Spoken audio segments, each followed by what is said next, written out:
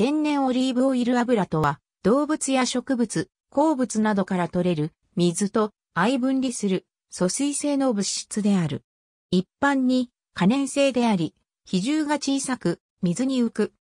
競技には油脂を指すが、炭化水素を主成分とする石油など油脂に該当しないものも油と呼ばれる場合がある。油脂については、常温で液体のものを油、固体のものを油と使い分けることがある。高級一化アルコールと高級脂肪酸とのエステルをローという。精油についても脂肪を含まず油脂とは区別される。用途としては食用、燃料用、産業用などに大別される。常温で液体である植物油や魚油などには不飽和脂肪酸が多く含まれ、常温で固体である肉の油などには飽和脂肪酸が多く含まれている。両者をまとめて油脂と呼ぶ。普通の油脂は脂肪酸とグリセリンの化合物であり、一般にトリグリセリドの形態をとる。不飽和脂肪酸とは炭素差に二重結合もしくは三重結合を持つもののことで、アルファリノレン酸、ドコサヘキサエン酸、エーコサペンタエン酸に代表されるオメガ酸、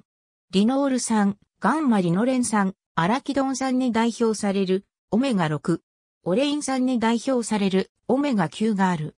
飽和脂肪酸とは炭素差に二重結合もしくは三重結合を持たないもののことでパルミチン酸、ステアリン酸等がある。普通、二重結合が多いほど融点は低いが、酸化によって固まりやすく、そのようなものを完成油と呼ぶ。この性質は油エグ、塗料などに利用される。植物から純粋に生成される精油は比重が小さく水に浮くことから油と称されるが脂肪酸を含まず揮発性であり油脂とは区別される。アロマセラピーに用いられるほか食品の着工料とされるものもある。同様に石油など鉱物由来の揮発性物質も油脂とは区別される。揮発油は一般にはガソリンのことを指す。多くの油は引火点と発火点を持ち、消防法における危険物第4類に分類される。また、発火点が沸点より低いので、酸化雰囲気では沸騰しない。熱した際に可燃性ガスを発生させるため燃料として利用される。ろうそくのように燃やす以外に明かりとして利用もされる。